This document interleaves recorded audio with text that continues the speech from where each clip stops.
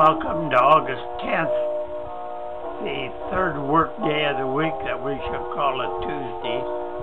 We'll make this a little quick this morning, uh, this afternoon.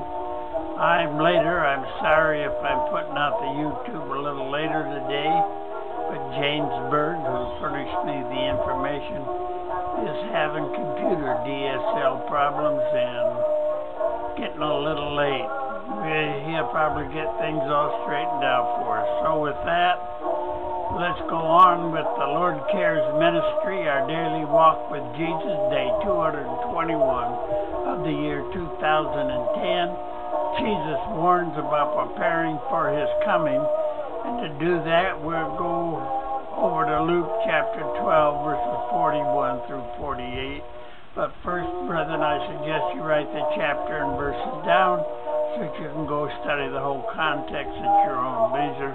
You can also use the pause button in the bottom here to be able to start and stop this video so you have time to find the places in your own Bible. Okay, let's go over to Luke chapter 12, verses 41 through 48. Jesus warns about preparing for his coming. coming. Peter asked, Are you talking to just to us or to everyone? And the Lord replied, I am talking to any faithful.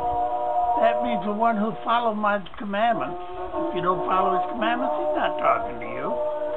Sensible men whose master gives him the responsibility of feeding other servants. If his master returns and finds that he has done a good job, there will be a reward. His master were to put him in charge of all he owns. But if the man begins to think, my Lord won't be back for a long time, and begins to whip the men and women he's supposed to protect, and to spend his time at drinking parties and drunkenness, well, his master will return without notice and remove him from his position, position of trust and assign him to a place of the unfaithful. He will be severely punished, for though he knew his duty, he refused to do it.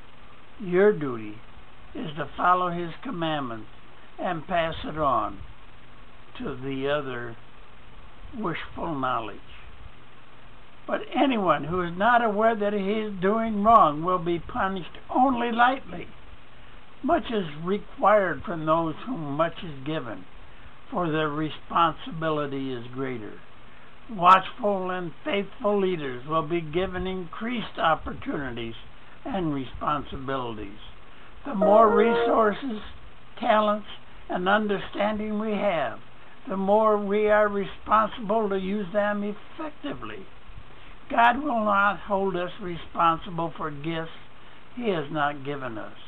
But all of us have enough gifts and duties to keep us busy until Jesus comes. Future reward. Jesus promises a reward for those who have been faithful to the Master.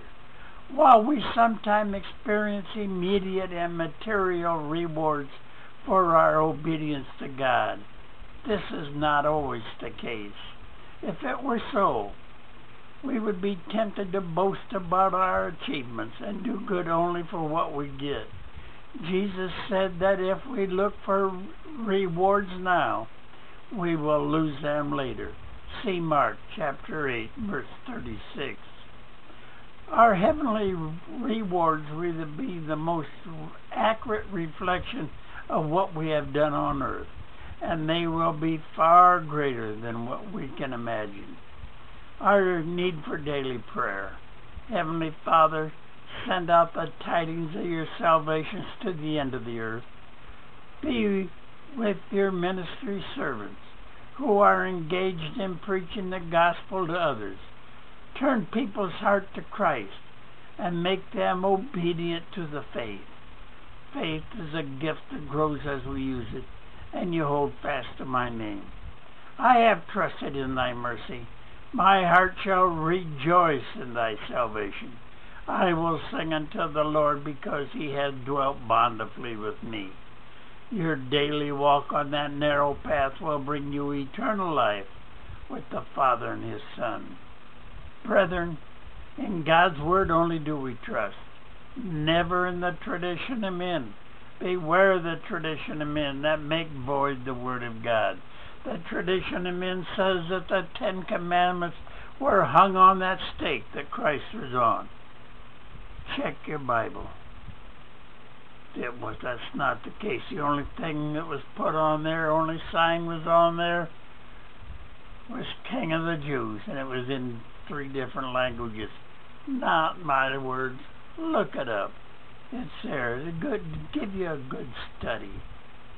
You will find the Ten Commandments all through the New Testament, every one of them. Even go to Revelation chapter 14 and verse 12, I believe it is. I'd have to look that up. You will see that the saints were the one that listened to Christ and kept the commandments of Theos, of God. Brethren, you want to be on that narrow path that gets to the kingdom and salvation. Get down on your knees and repent. Ask the Father and the Son for forgiveness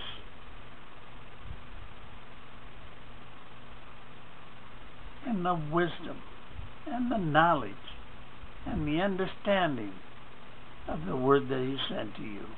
Well, brethren, with that, we're going to close for today. You all have a great day. I know I have and will. Bye for now.